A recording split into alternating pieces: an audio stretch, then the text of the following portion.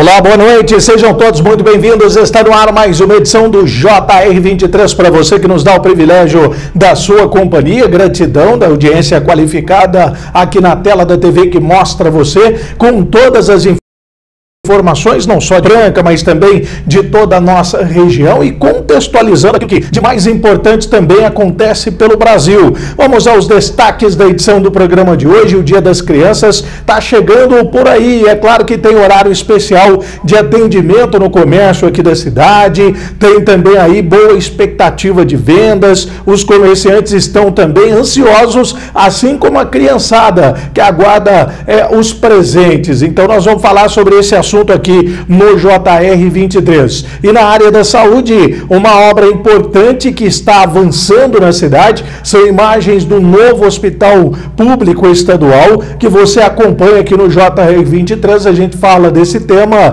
estamos acompanhando desde quando foi anunciado, também agora cada, cada passo que se dá, e é claro que é uma obra muito sonhada aqui e vai atender pacientes não só de Franca, mas também de toda a nossa região. E no mundo da bola tem informações. Tem clássico no Campeonato Brasileiro na rodada que finaliza antes da data FIFA. Santos e Palmeiras. E o Santos está esperançoso, claro, porque quer manter a sequência de vitórias. Conseguiu duas vitórias, saiu da zona de rebaixamento e quer permanecer assim, buscando uma situação mais tranquila a equipe do Peixe. Só que tem um detalhe: o adversário do final de semana é nada mais, nada menos do que a equipe do Palmeiras. Tudo isso e muito mais você acompanha aqui no JR23 que está no ar. A nossa primeira parada, mas é rapidinho, coisa rápida e já já a gente se encontra. Fique ligado.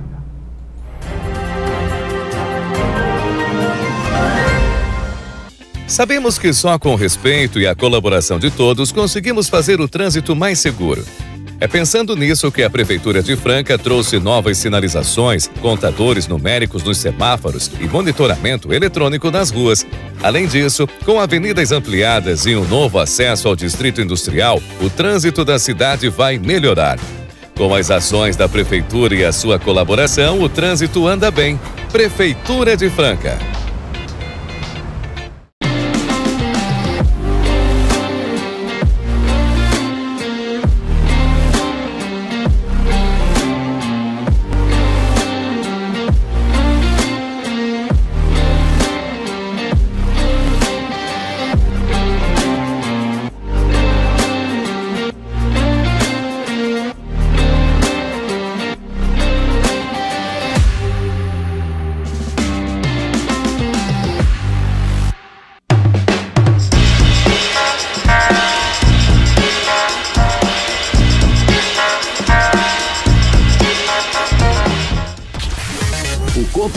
Mais completo de Franca e região. www.portaldefranca.com.br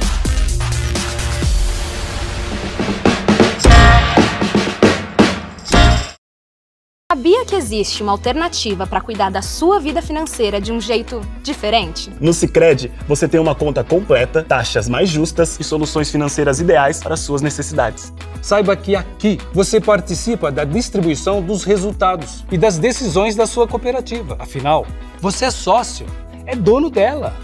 Aqui no Sicredi, o resultado fica na economia local, ajudando a desenvolver você e toda a sua região. Abra sua conta no Sicredi, onde o dinheiro rende um mundo melhor. Volta.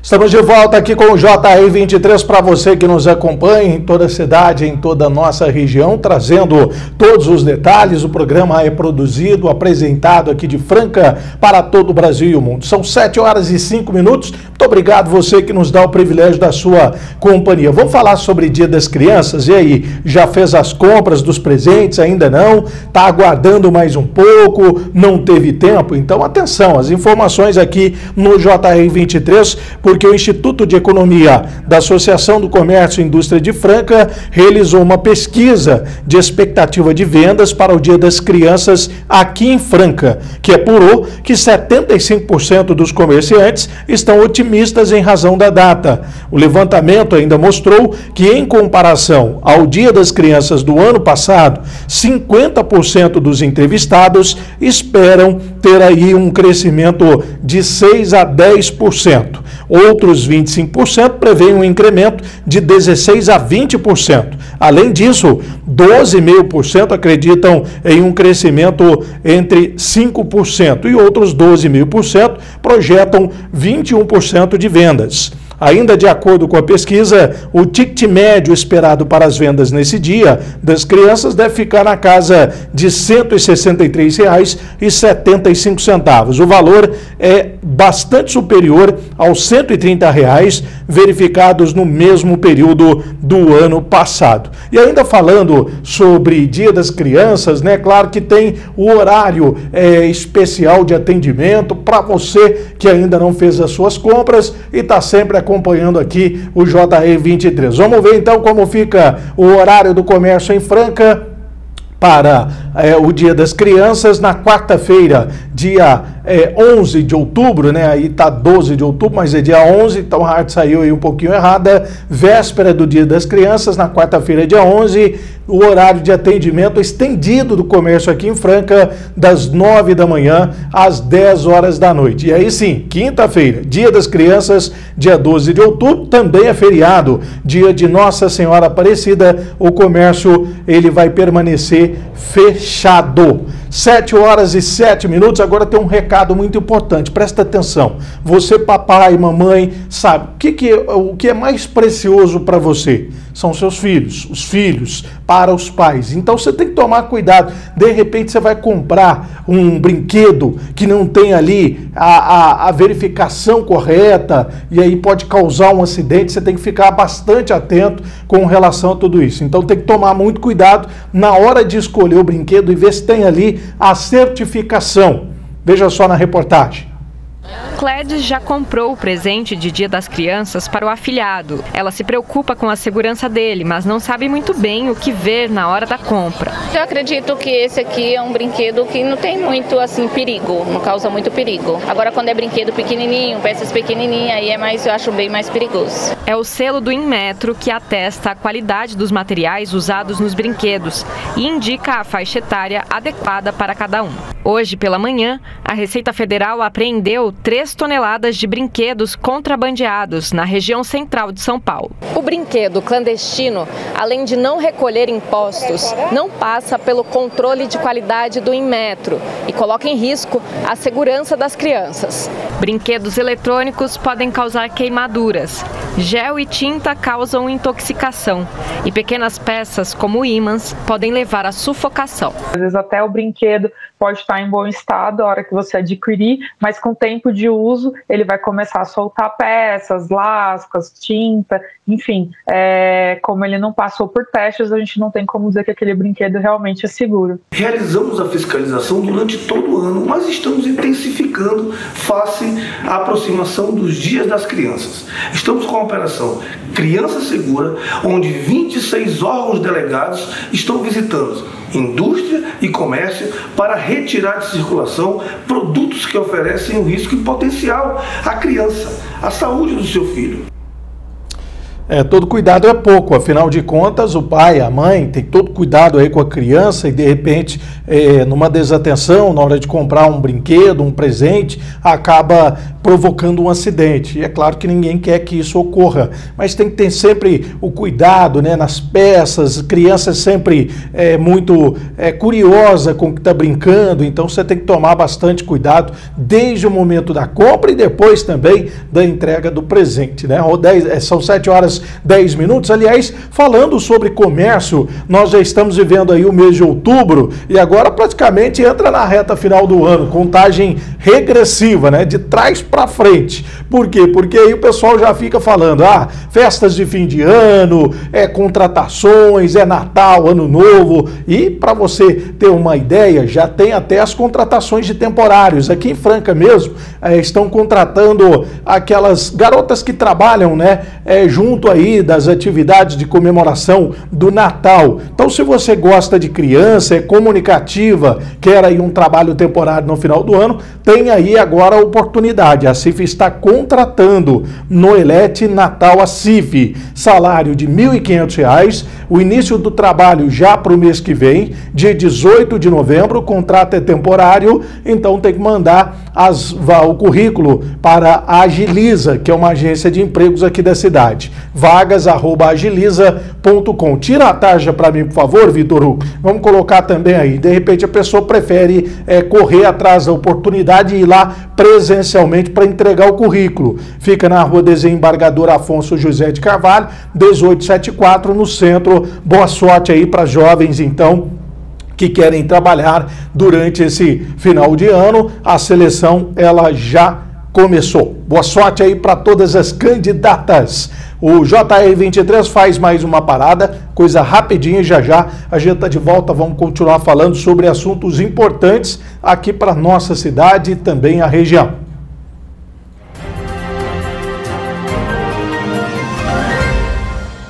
Sabemos que só com respeito e a colaboração de todos conseguimos fazer o trânsito mais seguro.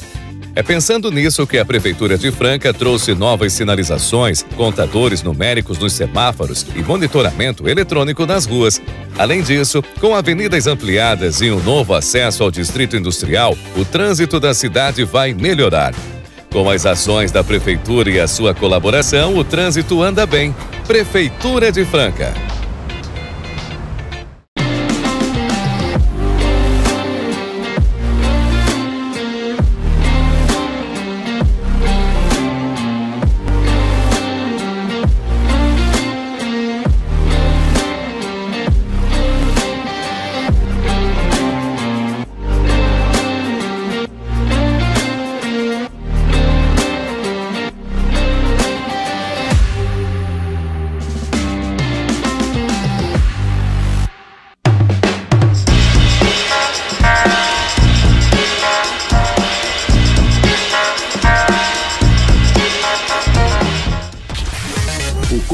Mais completo de Franca e região. www.portaldefranca.com.br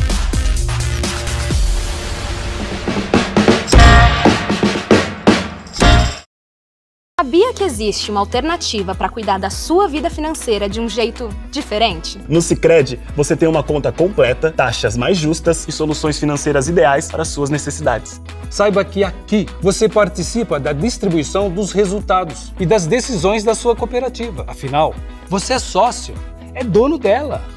Aqui no Sicredi, o resultado fica na economia local, ajudando a desenvolver você e toda a sua região. Abra sua conta no Sicredi, onde o dinheiro rende um mundo melhor.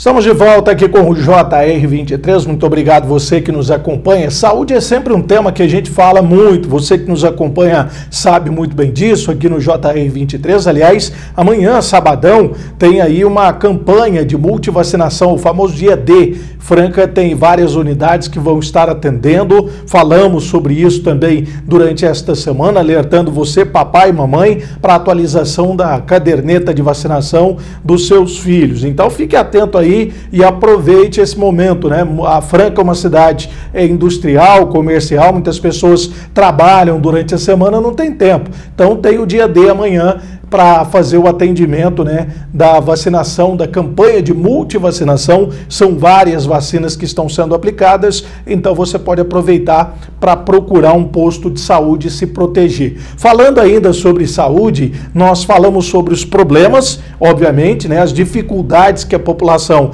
ela enfrenta para marcar consulta, para fazer os exames, também com leitos para internação e acompanhamos as informações daquilo que está sendo feito para tentar resolver essa situação da área da saúde. Afinal de contas, a população não para de crescer. E Franca é uma cidade que é referência para 22 cidades da nossa região. Estou falando também em relação ao Hospital Público Estadual, um sonho de muitos né, que vinham aguardando, falando sobre esse tema e que finalmente começou. As obras elas estão avançadas.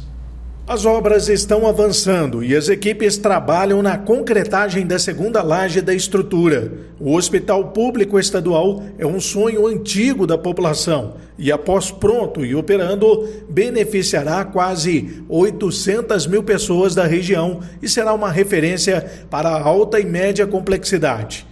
A estrutura que vai abrigar 225 leitos, sendo 150 leitos em clínicas médica e cirúrgica, 20 leitos em hospital dia, 15 leitos em psiquiatria, 10 leitos de UTI pediátrica e 30 leitos de UTI adulto.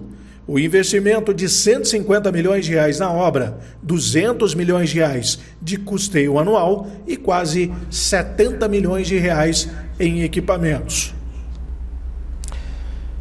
Importante, a gente vai continuar acompanhando toda essa situação, né, o desdobramento, o avanço das obras, a compra de equipamentos, para que realmente, se o prazo realmente vai ser cumprido, porque é algo que é extremamente necessário para a população, não só de Franca, mas também de toda a nossa região.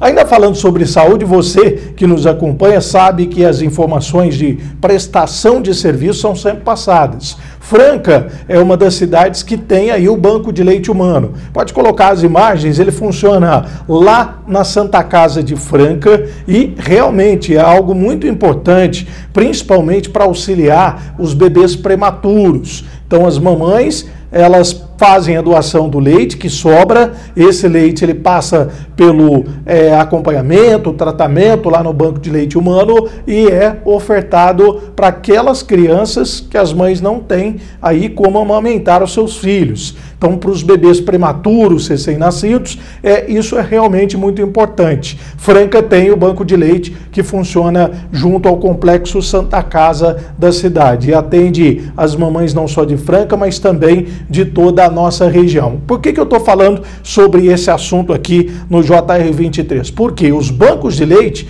eles foram criados, bancos de leite humano, foram criados há 80 anos. Joga a reportagem na tela, tem a matéria aí, né, Vitor? Então vamos ver.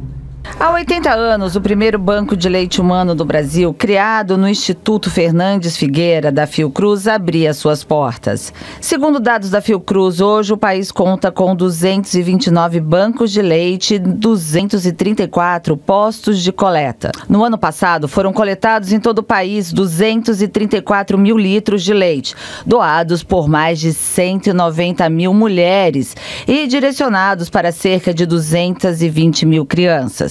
Segundo a instituição, a proporção é de uma mulher doadora para 12 assistidas pelos bancos de leite. A partir dos anos 80, um programa de âmbito nacional nasce para transformar o cenário. O Brasil se torna um centro de referência mundial, com a maior e mais complexa rede de bancos de leite humano do mundo. Nós apoiamos a construção de bancos de leite humano que não existiam na América Latina, no Caribe Hispânico, no Caribe Inglês e essa ação chegou não só à América Latina, à Península Ibérica, Portugal e Espanha fazem parte da rede, aos países africanos de língua portuguesa, os PALOPs, né, os países da CPLP, e pouco antes de iniciar a pandemia, nós demos início à criação da rede de bancos de leite humano do BRICS. Um evento no Rio reuniu integrantes dessa grande rede, profissionais que já trabalharam e também os que atuam hoje na linha de frente dos bancos de leite humano.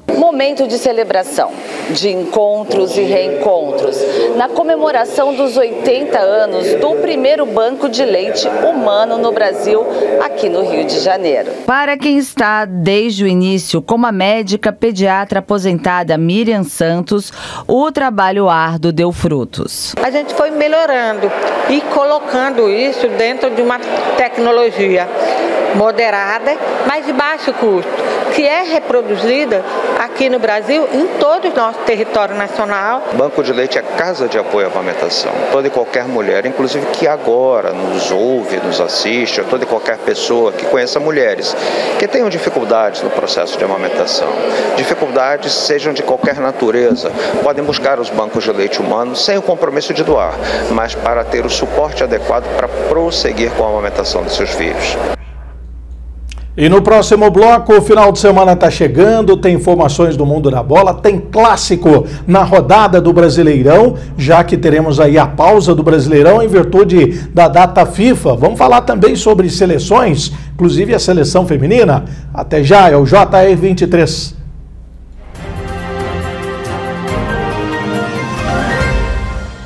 Sabemos que só com o respeito e a colaboração de todos conseguimos fazer o trânsito mais seguro. É pensando nisso que a Prefeitura de Franca trouxe novas sinalizações, contadores numéricos nos semáforos e monitoramento eletrônico nas ruas. Além disso, com avenidas ampliadas e um novo acesso ao Distrito Industrial, o trânsito da cidade vai melhorar. Com as ações da Prefeitura e a sua colaboração, o trânsito anda bem. Prefeitura de Franca.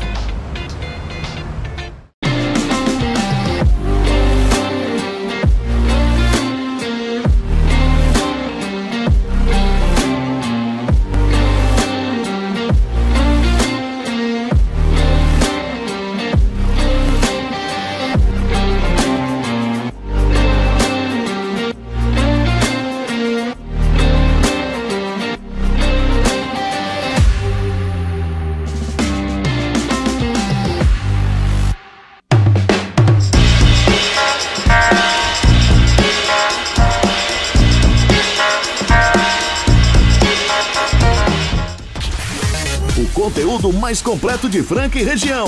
www.portaldefranca.com.br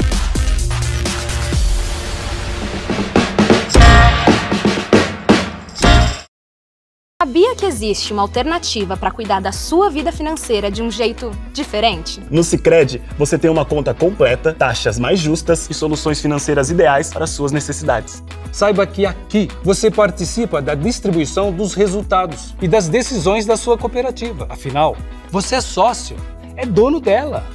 Aqui no Sicredi, o resultado fica na economia local, ajudando a desenvolver você e toda a sua região. Abra sua conta no Sicredi, onde o dinheiro rende um mundo melhor.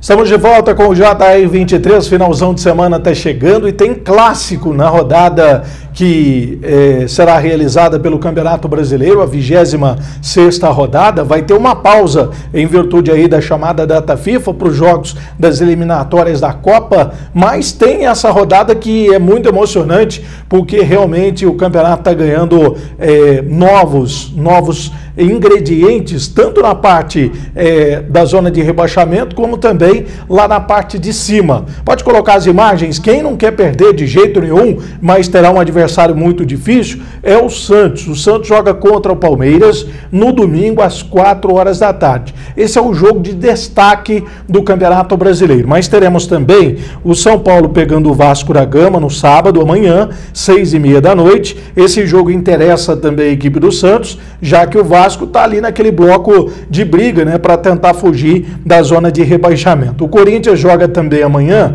é, contra o Flamengo às 9 horas da noite. Então, esses são os jogos. E o Bragantino, que é o vice-líder do campeonato, joga no domingo às 18h30 contra o Furacão, o Atlético do Paraná. Mas o Santos, ele vem de duas vitórias importantes. Uma delas, inclusive, contra o Vasco, chamado confronto direto, e agora terá o desafio contra a equipe do Palmeiras, que é um elenco realmente muito forte. E o Palmeiras joga em casa. O Santos vai jogar contra o Palmeiras lá nos domínios do Alviverde. O Lucas Braga, ele fala sobre a importância de manter essa sequência de vitória. E essa vitória contra o Vasco especial pra gente, eu voltando a exercer aquela função como ala, dessa vez pelo lado direito. Marcelo tem me orientado bastante sobre o posicionamento e a cada dia eu estou tentando aperfeiçoar para render melhor na posição. Sabe que eles não vão estar no gramado sintético, então eles vão sentir um pouco. Então a gente tem que aproveitar isso para tentar conseguir um resultado positivo.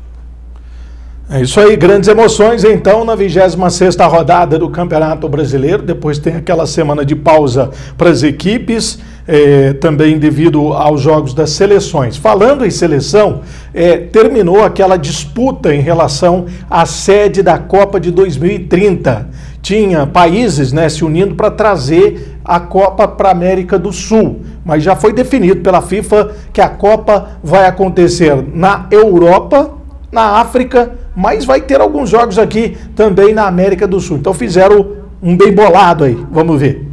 As confederações europeia, africana e sul-americana de futebol chegaram a um acordo para uma candidatura única apresentada por Marrocos, Espanha e Portugal para sediar a Copa do Mundo de 2030 com três jogos na América do Sul. O anúncio foi feito pela FIFA nesta quarta-feira e encerra a rivalidade anunciada entre os dois favoritos, uma candidatura conjunta de Argentina, Uruguai, Chile e Paraguai e outra com Espanha, Portugal e Marrocos.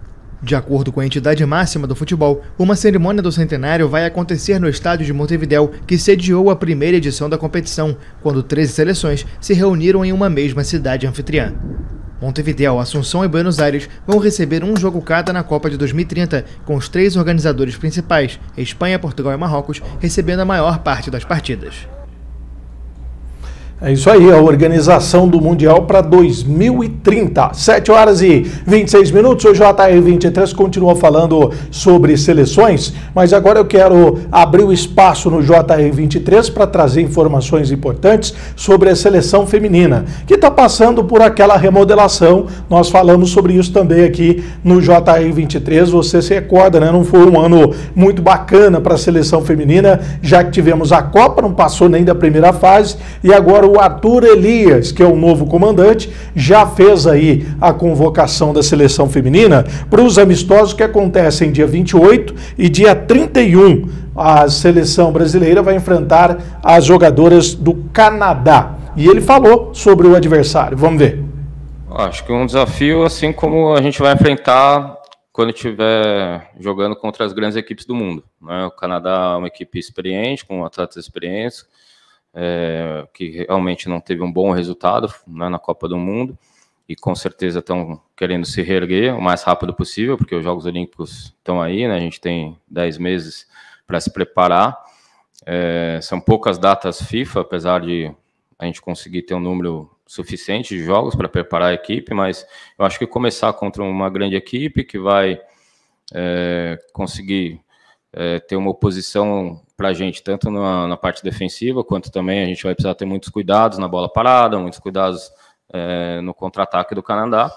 E eu, eu, fiquei muito satisfeito por ser, não por ser o campeão olímpico e nem por olhar para trás, né, aquilo que já aconteceu com a seleção nossa ou com, com o Canadá. Eu quero olhar para frente e olhando para frente a gente vê que é uma, uma, uma equipe que vai assim com dois jogos, né, a gente vai conseguir tirar muito do nosso grupo, muito uma experiência muito rica para aí seguir na próxima convocação de novembro. Lembrando também que o Fernando Diniz né, já convocou a seleção brasileira para os jogos amistosos, amistosos, não, aí jogos válidos da seleção brasileira masculina, válidos pelas eliminatórias da Copa do Mundo. O Brasil vai enfrentar a Venezuela e depois encara o Uruguai. Mas isso é assunto para a gente falar também nos próximos programas do JR23. Final de semana está chegando, é claro, eu desejo a você um final de semana abençoado. Segunda-feira a gente se encontra na próxima semana com mais edições do JR23. Muito obrigado pela audiência, pela companhia de todos os dias. Tchau, tchau.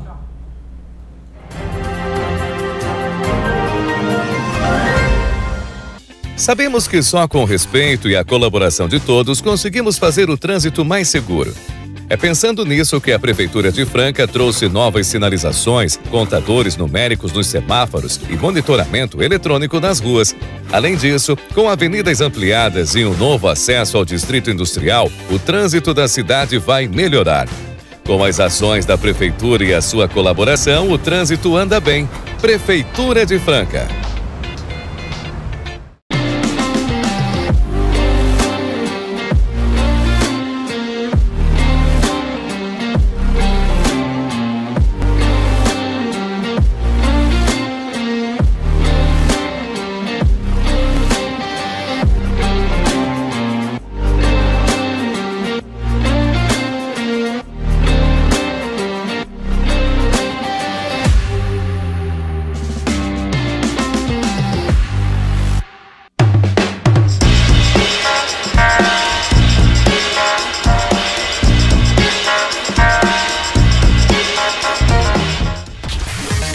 Conteúdo mais completo de Franca e região. www.portaldefranca.com.br